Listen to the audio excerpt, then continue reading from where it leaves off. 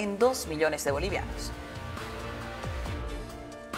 En la cual estamos haciendo la entrega, hermano ministro, de casi 100 mil litros en lo que corresponde gasolina y diésel, en trabajos conjuntos que se han llevado adelante con un valor aproximado casi de 2 millones de bolivianos. Entre la incautación también están 500 garrafas de gas, además de otros elementos. Un material incautado de 89 fusiles, un camión cisterna con un producto completo.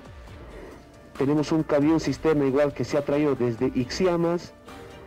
En este caso, un cisterna Volvo que también se ha podido incautar con 10.000 litros, 47, 47 bidones de plástico, 8 canastillos plásticos, dos tanques de consumos ampliados y un tanque mochila.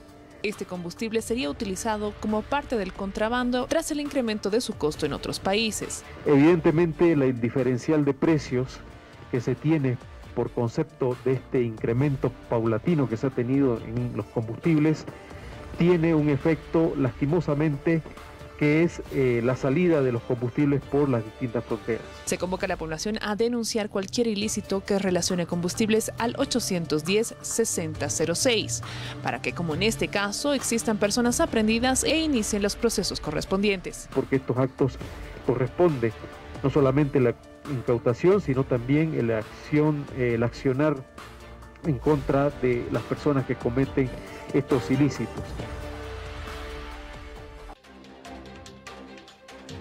Yacimientos petrolíferos fiscales bolivianos y EPFB benefician